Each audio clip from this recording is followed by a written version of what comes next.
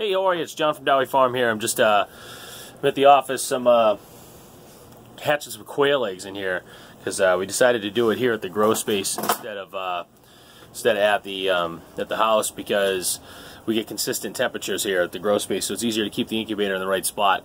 Um, as far as temperatures go. So I'm going to kind of show you my setup on my incubator. Sorry about all the extra light. It's kind of like crazy in here. But uh, here's what I got going on. First off, we um, I started out with a little giant, crappy styrofoam incubator. Um, it's not the best incubator in the world. It, uh, you know, it's just kind of average. If you just take that thing out of the box without an egg turner and try to hatch eggs, you're not going to get much. And it's really not worth it. It's kind of silly that they even sell it that way, but um, you really have to add the egg turner. um, and then you either have to add your own fan like I did, uh, learned from a friend of mine at Will Work for Liberty, another great YouTube channel. But uh, I learned from him how to do it, so I went in and got the stuff that he recommended, and I did it. Um, but I also took it a step further, and I put a better uh, temperature controller on it because that little wafer board sucks. So what I've got going on here now, I'll show you as we walk through it, if I can, easy with the uh, easier here with the whoa, with the um, the tripod. I might have to take this off the tripod. But I've got my coffee maker. Oh, no, I've got my incubator here. Um, my little giant incubator. And I have an external um, temperature thing that tells me the outdoor temperature and the indoor temperature. And the outdoor temperature is actually my probe. Um, so that's inside the incubator. 98.6. This is kind of off a little, I think. It's not that. It's not 98.6 in there. Because the other thing I have going on is I have this Inkbird it is a Inkbird. Oh, what's the name of the? Do do do. Yeah, what do we got? TC something something something. It's TC. I don't know. I don't know. I'll link to it. But the one I have cools as well. Um, that's all I could find at the time. They have one that's for incubators. It's probably a better deal, and uh, it's a little cheaper. It's like five bucks less. And uh, I'll link to both of those things. But um, 35 bucks, uh, you can buy this thing here that will control temperature on a probe. And I it doubles up for me. I use it to control my um, stock tank heaters in the winter because those things will just run until the water reaches like 70 degrees or something like that, which is not necessary. So uh, I set that thing up so that when the ambient temperature is like 34, 36, it turns off or I don't know, something like that. I don't know, whatever. I wing it, but like you know, I'll have it turn on when it hits 34. I'll have it turn off when it hits 36. That way, like obviously the ambient temperature isn't freezing, your water isn't going to freeze, right? Especially since it's on the ground, it's not, you know, usually not frozen underneath there. but anyway, I'm going to walk you through what he did here. I've got my Inkbird temperature adjuster, and right next to that thing is my awesome flowchart that comes in the thing. Uh, so as you can see on this this bad boy, let me see if I can get it in the shot best here. The way to set this, I'll walk you through. I set these things to, ready? Let me see if I can get my, my thing out here. I set my temperature set value here, okay, to 101, all right? And then, I know that sounds high, because what you want with, with, with quail eggs, you want 99.5 uh, consistently, but you're never going to get that with this wafer board. The closest you're going to get is with this, this temperature controller. That's what I found. Um, so I set that to 101. And then what I do is it wants a heating differential, which means it's going to go off, uh, it's going to turn on when it's off by this much. I set that to 1 because I want it to just go 1 degree. And as you see, as you were looking at it, it dropped down to 100 and the heating light turned off. or it hit 100. I might have it set to 100 right now actually because it's warm in here. Then the cooling differential doesn't matter because you're not using that. The alarm is super annoying, and I thought it was going to be a good idea, but I ended up turning that stuff off. so I set the alarm high limit as high as it would go, and I set the alarm low limit as low as it would go, so that it never goes off, because it goes off all the time for some reason. It's wicked annoying. Um, compressor delay, not important with this, because you're not running a refrigerator, because this is kind of built to run a cooler for like a uh, home brewing and whatnot. Your temperature calibration is so that you can you can test it in a cup of ice water should be 36 degrees. I don't know, you can Google that. I think it's 36 degrees for a cup of ice water with a lot of ice. Um, and you can drop your probe in there, and it'll let you adjust. All right, and then you can do Fahrenheit or the other thing. So uh, we do Fahrenheit here. But anyway, you're gonna hold this button down until it goes to that, and that's TS, and that's your temperature set value.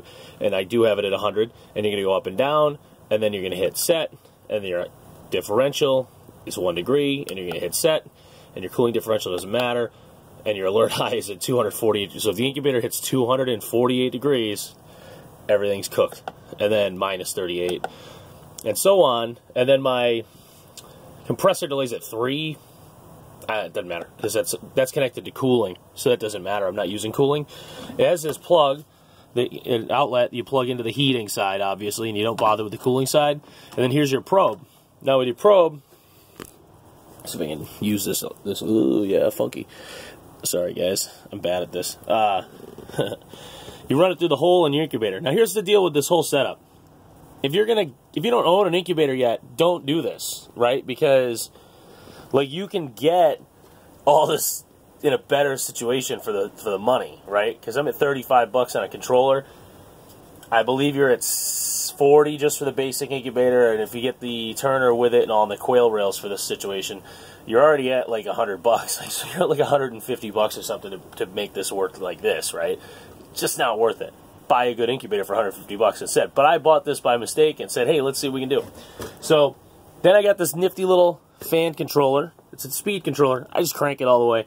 And then I'm going to open this for you, which is like kind of a no-no because we are in the early days. He's been in here since Sunday, and today is Thursday. So um, I'm going to kind of open this up. Well, and what I do is I just crank the temperature all the way, by the way. So that's up all the way, and then this is just going to turn it off and on, right? So inside here, I have bootlegged in a fan if I can open this stupid thing. There we go. See the fan spinning there? It's just a computer fan, and it's like hooked to a little uh, whatever amperage uh, a Framacrema, the plug-in thing. All right, uh, the hell's it called? Whatever, doesn't matter. Anyway, then I set my eggs. I got 80 eggs sitting here. Nice, nice big quail eggs off my thing, 15, 16 grams. These are the quail rails. This is the turner, very important. These it comes with regular rails for duck and chicken eggs you got to buy these quail rails to fit quail eggs. And then in the bottom, there's reservoirs for water. I took a hot glue gun and I sealed up the holes so it won't leak on me and I can get more water in because with quail eggs, let me close this. You want to set your eggs and you want to not do what I just did. You want to set your eggs and lock it down, man. And you don't want to open this thing up. See, it just dropped to 93.86, whatever now. Anyway, and it's going to go up pretty quick, so it's not that big of a deal. But you don't want to open that and be messing around with it and candle eggs, all that BS. Like, just skip that shit, right? Put your eggs in there, close it up, put some water in that stupid thing, call it a day. Like, don't worry about your humidity until your last, like, four or five days, right? These quail eggs take 18 days. So I'm two weeks and I'm just like, whatever. I put some water in there, call it a day, get temperature right. That's your thing. You want your consistent temperature, right? And I get about an 80% hatch rate out of this little crappy incubator by doing this, right? So I throw my eggs in, I lock it down for two weeks, usually, and then uh, water in the beginning, temperature at set at 100, so it bounces what it does is because of that one degree differential, right? I'm at 100, it's going to go 99 to 101, 99, and it's going to average out at 99.5-ish, right? So we're good. And at day 8, no, sorry, 15, I'm going to take I have a separate, second one actually for this, but I'm going to take the uh, turner out and just lay the eggs in there on their side, and that's when they're in the hatch mode because you don't want them in the turner hatching to get the legs caught in and stuff like that. So, um, so I'm going to yank that turner out, or pick it up, lift it out, take the eggs, set them back in there, and then I'm going to jack up the humidity, right, when I do that. So I'm going to take sponges and like all kinds of shit like that, washcloths, whatever I can find, and I'm going to layer them into the bottom underneath that screen then I'm gonna do I'll do a follow up on this when I do that that day. Um, and I'm gonna soak them. And you want it, you just want that humidity to go as high as you possibly can. In the end, just in the end, all right. And that, that'll keep them from sticking to the, uh, the the membrane and all that stuff, and it helps them out, helps them get out. Then what I do once they start to hatch is I go in there once a day, maybe twice a day if there's a ton of them, and I just pick them out. The only thing that freaks me out about leaving them in there is like there's that fan. I want to pop their little, especially quail, pop their little head up in the fan. It's probably a bad idea. Hasn't happened yet, luckily. And I'm also, I worry about a little bit the heating element. So I get them out pretty often and I throw them into a tote.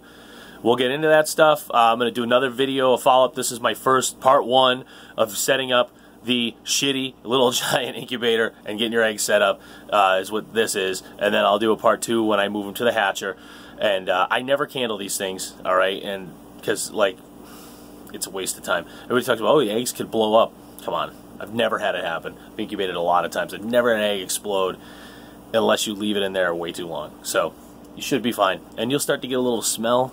Then you can usually sniff out the bad one if you're gonna when you're doing the, the transfer. Uh, so, but I just leave them. Anyway, that's where I'm at. I'm at 11 minutes here. Sorry, guys, for the long videos. I know, you know, it's like a big YouTube no-no or some some something like whatever. I don't care. Uh, so uh, that's my walkthrough on the Inkbird. I'll link to that thing. Uh, my Amazon links are down right now because they don't like me, and uh, I'm gonna I'll throw some of the other stuff that I have in there. Uh, the only thing I'm missing in this setup right now that I need to get in there um, that I realized I lost is my hygrometer to tell me what the humidity actually is. But I, by the little droplets on the top, I'm thinking it's pretty good. And uh, like I said, at this point in day 3, 4, 5, whatever, up to about day 12 to 15, it doesn't matter anyway. Thanks for watching, John from Dowie Farm. Take it easy.